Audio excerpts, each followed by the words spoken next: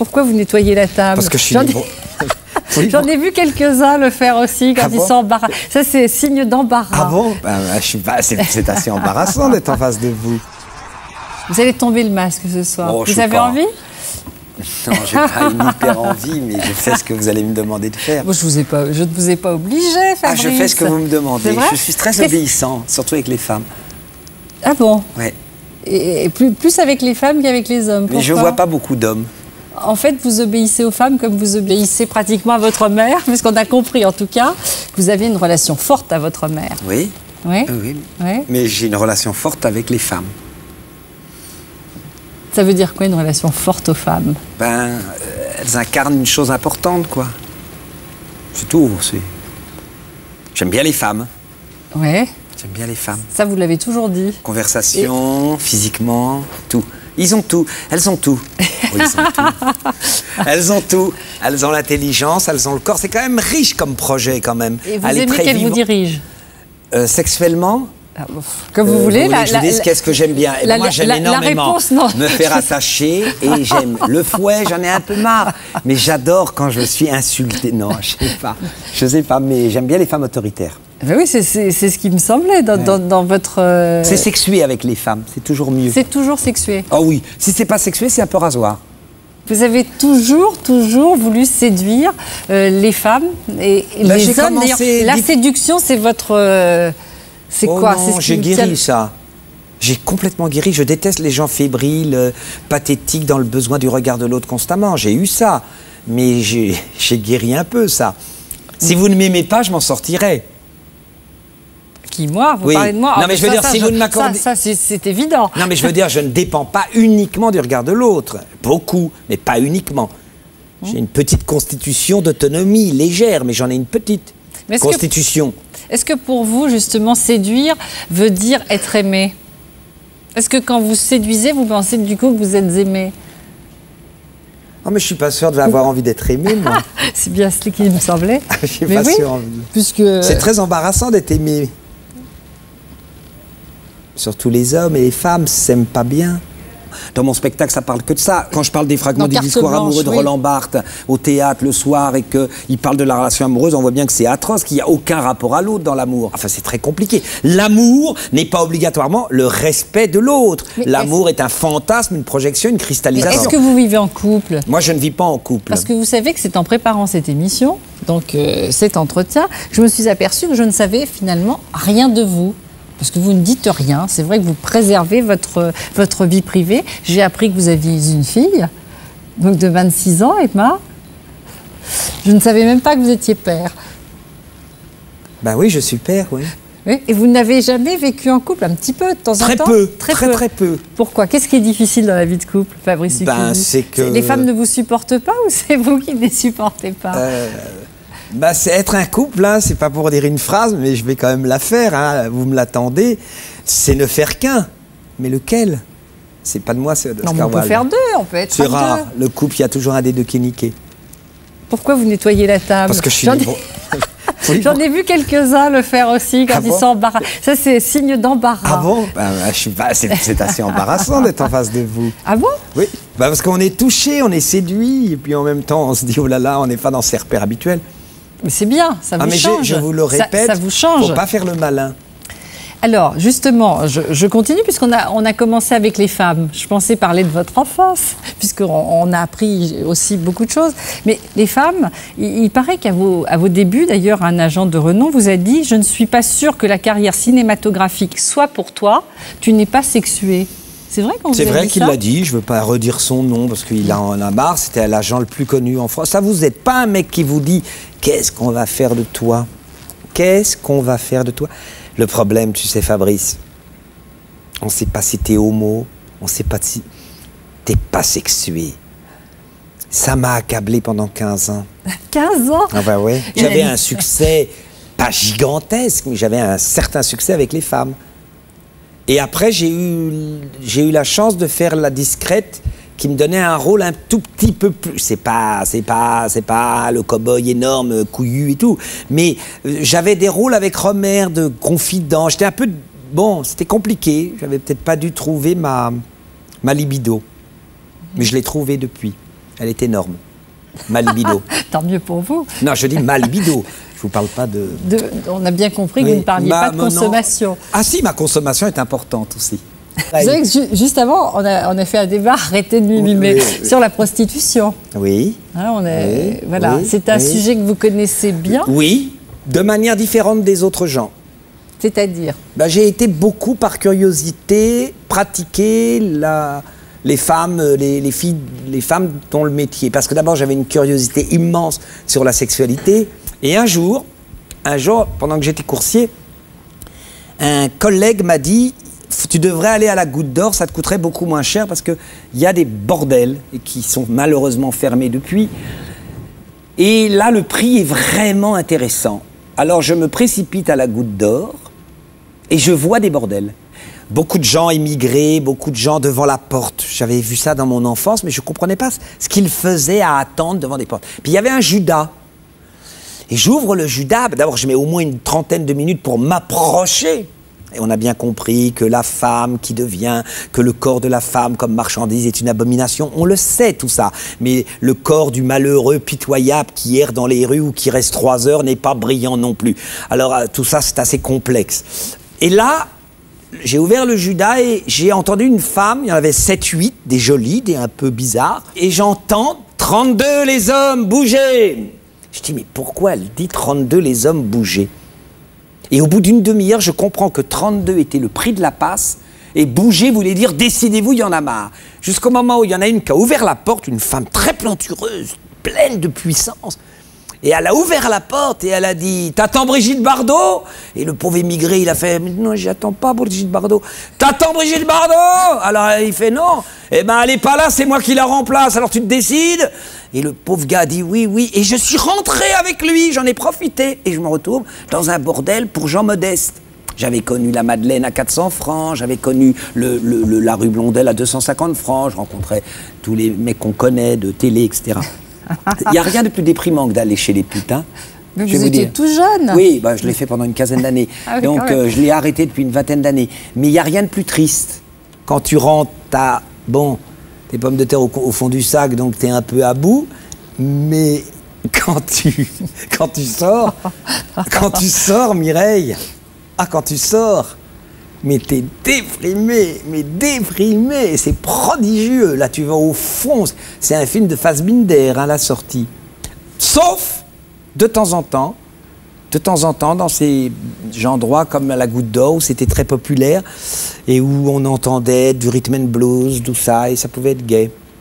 Quand je vous écoute quand même, hein, dans, cette, euh, dans cette recherche, euh, on va dire, assidue, forcenée de, de la femme, hein, et de Il n'y ça. a pas que ce- ça qui m'intéresse, hein, c'est d'une petite partie de ma vie. J'ai bien compris, mais si j'écoute ce que vous ce que vous dites, on a quand même le sentiment pendant des années que vous n'avez pas voulu aimer ou pu aimer. euh, qui sont les, les femmes de votre vie? Votre mère? Mhm.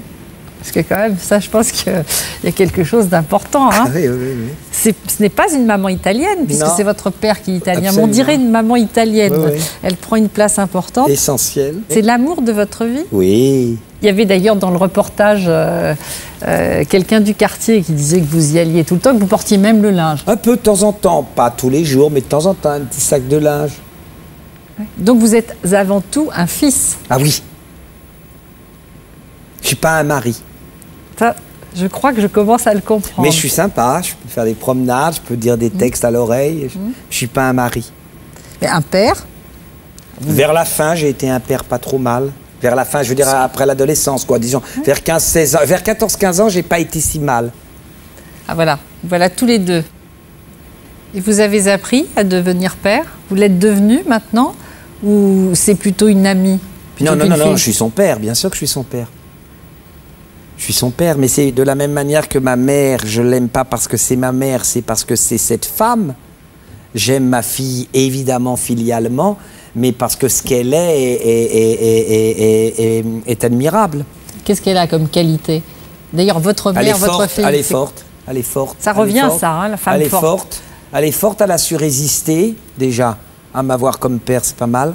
Elle a résisté et elle a un parcours qui ressemble un peu au mien. Elle n'a pas été à l'école longtemps et, et, et elle a une perception. Elle me fait énormément rire quand elle raconte des choses, c'est irrésistible. Et votre mère, qu'est-ce qu'elle a comme qualité? Qu'est-ce qu'elle vous a donné, Fabrice? L'intelligence. Alors ma mère, c'est tout ma mère pour moi. Si je suis comédien, c'est grâce à elle, parce qu'elle est comédienne. C'est une identité euh, d'une richesse, d'une intelligence extrême. C'est-à-dire qu'elle n'a pas été du tout à l'école, elle était à l'assistance publique, tout ça, tout ça. Et elle a été placée chez des gens, tout ça. Femme de ménage pendant Femme de ménage, au Figaro en plus, pendant 20 ans. Il faut dire que tous les comédiens racontent qu'ils ont toujours des parents immigrés, qu'il y a toujours eu des femmes de ménage et tout ça. C'est un drôle tous eh des acteurs. Elle était femme de ah, ménage avant de s'occuper d'ailleurs du, du, magasin. Non, elle a été femme de ménage quand les parents ah. étaient dans, dans, un gros problème financier. Après, après, le magasin. Oui, elle, elle a recommencé à faire le ménage. Vous êtes un nostalgique de l'enfance? Ça doit être plus fort que ça.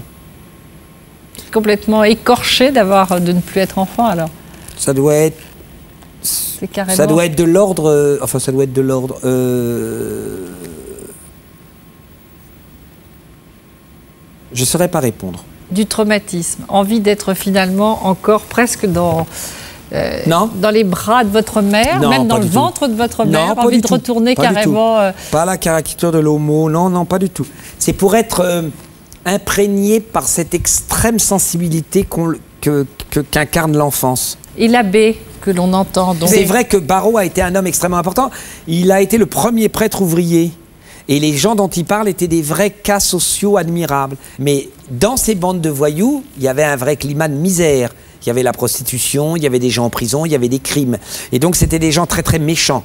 Des gens qui étaient... Ils avaient quel âge? Ils avaient entre 16 et, 25 ans. Et vous? Et moi j'avais 13 ans, 14, 15 ans. vous avez arrêté l'école Oui. Mais qu'est-ce que vous faisiez dans la rue, vous, à cet âge-là? Et pourquoi vous avez arrêté l'école si tôt, à 12-13 ans? Bah, J'étais très mauvais, donc on m'a mis... Ma maman, ma, ma mère m'a m'a mis dans le salon de coiffure, on connaît l'histoire par cœur, à 14 ans, j'avais même pas 14 ans quand je suis rentré dans le salon de coiffure. Et de 14 à 18 ans, c'était une époque merveilleuse, c'était les hippies, euh, il y avait des pétards partout, et il y avait plusieurs groupes, il y avait des intellectuels dans un certain coin de la butte. Donc j'ai été dans une exploration obsédante de, tous, les milieux-là. C'est d'ailleurs ça, la prostitution n'est. La prostitution, le fait, le, problème des femmes qui, avec qui on monte, c'est un truc qui est assez beau, hein, si on les respecte. Mais c'était aussi la curiosité se promener partout. Donc je me promenais dans plusieurs milieux. Et ça, ça a été mon obsession. Comme j'ai été coursier très longtemps et que je livrais des plats chauds chez les riches, chez les pauvres, chez les travelots, ça, c'est devenu un matériau. C'est là que j'ai rencontré Michel Berger et France Gall. J'ai apporté des pizzas et j'ai vu France Gall et Michel Berger. J'ai livré Roland Qu'est-ce que vous leur avez dit? Ben, J'étais pas très connu, j'avais fait même pas un film. et ils étaient en couple, c'était très étrange. Ah, ça, étaient... ça a dû vous fasciner, justement. Mais oui, parce qu'ils se promenaient dans l'appartement, bras dessus, bras dessous. C'est très bizarre. Le couple est une chose fascinante parce que c'est pour les autres aussi. On indique aux autres qu'on est ensemble. Ça ne peut pas fonctionner dans le face-à-face sans les amis. D'où l'horreur des couples en amis en vacances. Ce qui est horrible dans le couple, c'est que plus personne n'est sexualisé. On va chez qui? On va chez les un tel. Tu sais qu'il ne se passera rien. Hein Il se passera rien. On va en couple, on bouffe. Euh, euh, qu'est-ce que tu as vu dernièrement? Alors là, moi, je meurs. là. Hein. Qu'est-ce que tu as vu au cinéma? Là, je, peux, je déteste. Mais pourtant, vous avez un modèle de couple en face de vous. Ma maman et mon papa? Bah oui, ils oh, sont restés ensemble toute leur Oui, mais non, non, non, non, c'est pas un modèle de couple. Bah, non, la pauvre, non, non, non, non. Non, non, non, lui, il n'est pas doué du tout pour être un, ni un mari, ni un... Non, non, non, non, non, non.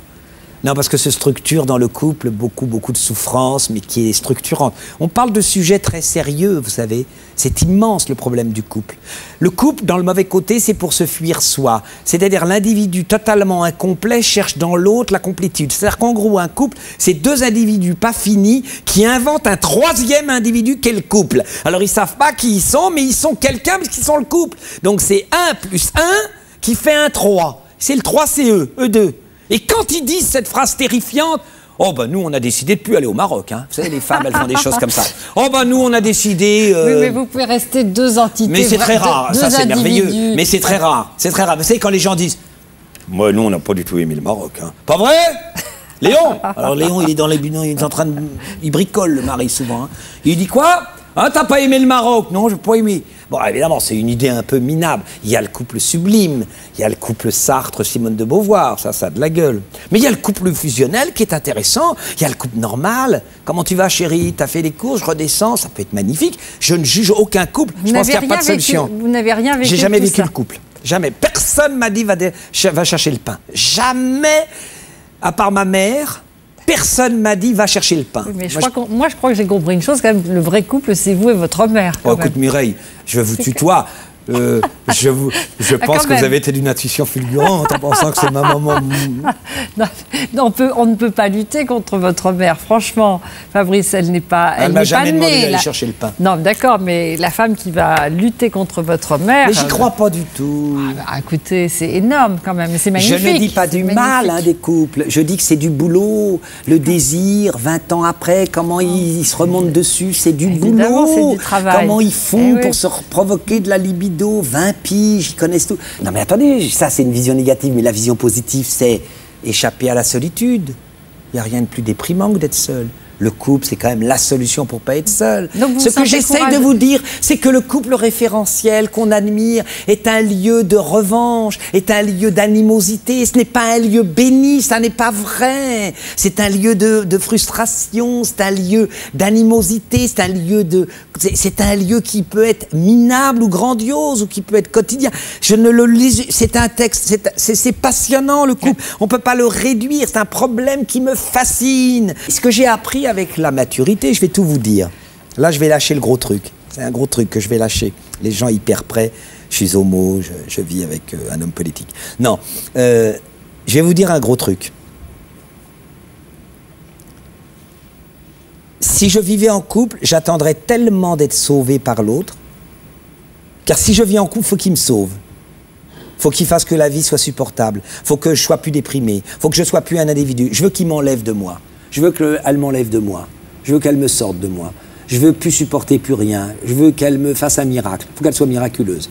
Je parle même pas physiquement, mais faut qu'elle soit miraculeuse. Faut qu'elle me sorte de moi. Ça, c'est pas possible. Personne peut se sortir de toi. Mais ce que je voulais finir, vous dire, parce que vous me sortez sur un truc très très passionnant, le mec très névrosé qui nettoie la table. Mais ce que je veux vous dire, c'est que quand j'ai compris que on ne pourrait pas vivre à ma place, car ce que j'attendais, moi, c'est qu'on vit. Moi, je vais tout vous raconter, on va y aller. Moi, j'ai eu une histoire il y a quelques années, une trentaine d'années. Moi, j'ai fait un projet avec une femme. J'ai repeint un studio, tout en blanc. J'ai peint le studio. Elle est partie loin pour réfléchir sur ce mec un peu bizarre qui était amoureux d'elle. C'est a très longtemps. J'ai peint le studio. Elle est rentrée, j'avais préparé des petites assiettes. J'ai presque mis des bougies. Il y a très longtemps. J'ai préparé à manger. Elle, les boules, ça a commencé à lui prendre dès le début du dîner. Elle s'est dit, il est en train de s'inventer un drôle de truc. Et j'étais là, tu es contente, tu es contente, etc. Je voulais un petit projet, un bon petit projet pépère, un bon petit truc bien régressif, bien, bien régressif. Et à un moment, j'ai été dans le pieu. Et là, elle en a pas. Elle a dit, mais c'est quoi ton projet là? Tu, Dans quel scénario? Je dis, ben, euh, un scénario normal, quoi. Et là, elle a dit, je crois que tu t'es complètement planté. Moi, ce qui m'angoisse dans les histoires d'amour, c'est quand les gens se racontent des ça scénarios vous a, qui sont et pas ça les vous mêmes. a traumatisé Ah ouais, ça m'a Oui, traumatisé. c'est ça que vous êtes en train de dire. Parce que quand vous y avez cru, vous l'êtes pris euh, un peu aussi en pleine figure. À ce moment-là. Sinon, Non, faut sinon, pas vous non plus exagérer. pas. C'est vous qui me le pas racontez. exagérer, moi, je voudrais vous dire autre chose, plus important. Quand vous dites j'attends d'une femme qu'elle qu'elle me sorte de moi-même, hein, qu'elle pratiquement qu'elle me sauve de moi et de Ouais, ma vie. quand j'étais Mais- immature, quoi. Non, mais j'ai l'impression que vous passiez votre temps à vous fuir. hein, et vous dites, effectivement, ma vie m'est insupportable. Et c'est pour ça que vous êtes comédien aussi. C'est pour ça que vous êtes allé voir dans tous les milieux. C'est pour ça, d'ailleurs, c'était formidable. Moi, j'ai noté qu'à un moment donné, vous dites Je n'en reviens pas de jouer avec Depardieu, Marielle Bouquet. Je n'en reviens pas qu'on m'ait accepté. Je n'en reviens pas d'avoir échappé à ma classe. Vous l'avez dit, c'est sans arrêt échappé qui a été, qui est un Mireille tilt pour vous. la Ah, ben vous êtes venu en face de moi. Il faut bien que je fasse du Mireille Dumas. Non, c'est mais merveilleux, oui, alors- Échapper, échapper, c'est c'est votre mot, échapper quand même. Échapper à sa classe, échapper à soi. Hmm. Mais c'est l'envie de tous, hein, qui est plus ou moins aiguë en fonction du mal-être et de l'angoisse qu'on vit. En fait, vous êtes euh, étonnamment angoissé. Mais j'en parle pas aux gens et je les embête pas. C'est ça que j'ai acquis. Ça, c'est vraiment ça que, que l'analyse apporte. C'est que j'accable pas les gens avec le paquet. Le paquet, je le garde pour moi. Cela dit, après 30 ans de psychanalyse, on peut se dire que c'est déjà costaud, 30 ans de psychanalyse. Oui, on va plutôt encore plus mal, oui. C'est vrai Bah, c'est normal, dis donc, on va dans les sables mouvants, il faut être solide. Quand vous êtes sur scène, Mhm. l'angoisse n'existe plus. Ben, quand on est sur scène, on est, on est concentré, c'est un très gros travail, donc on s'occupe beaucoup du travail, voilà. Oui, parce que comme vous récitez des textes, hein, je pense à, à Carte Blanche, votre, votre spectacle. Rimbaud, et Molière. son- voilà. Entre autres, entre, Entre autres, formidable. Voilà. Et ça, c'est vraiment votre vie. Et d'ailleurs, j'aimerais savoir ce que vous citez en permanence. C'est complètement dingue ce que vous avez appris. Vous passez votre temps à apprendre, Fabrice? C'est une connerie, je déteste les gens qui citent. Oui, mais vous le faites en Mais je permanence. cite parce qu'il n'y a rien de plus beau quand, Oui. quand, quand vous commencez un spectacle en disant la plupart des hommes ont de la poésie une idée si vague que ce vague même de leur idée est pour eux la définition de la poésie. C'est ça qui m'a donné envie de faire ce spectacle. C'est magnifique. Qu'est-ce que tu veux dire avec tes propres mots? Peut-être, vous avez envie de réciter quelques vers, non? Si vous me preniez dans vos bras, Hmm. le mec complètement pitoyable. Si, on, si vous me preniez dans, grand moment, ça. si vous me preniez dans vos bras, Oui. Ça serait pas plus mal. C'est pas que je voudrais vous imposer ça. Mais attendez, on va peut-être pas. Attention, je vais- je vais peut-être, on va peut-être se dire au revoir, je vous embrasse, ça vous va Non, non, mais attendez, non, on va que je vais être ridicule là. Je veux dire par là que. Attendez, non, mais donnez-moi juste une seconde pour terminer cette affaire. C'est vous qui, qui voulez... euh, Vous prendre dans mes n'arrivez- bras. Qui n'arrivez pas à finir. J'aime pas du tout que ça finisse, moi. Oui, mais Oui, là, oui. on Mais va- je suis pas, je suis pas non plus pitoyable. Genre, il y a plus de lumière, je n'existe plus. Je, vais aller vers la fin de l'émission. Alors, donc on y va, je vous Allez. embrasse. Je vous embrasse. Ah bah, avec plaisir. À défaut de vous prendre dans mes bras. D'accord. Allez.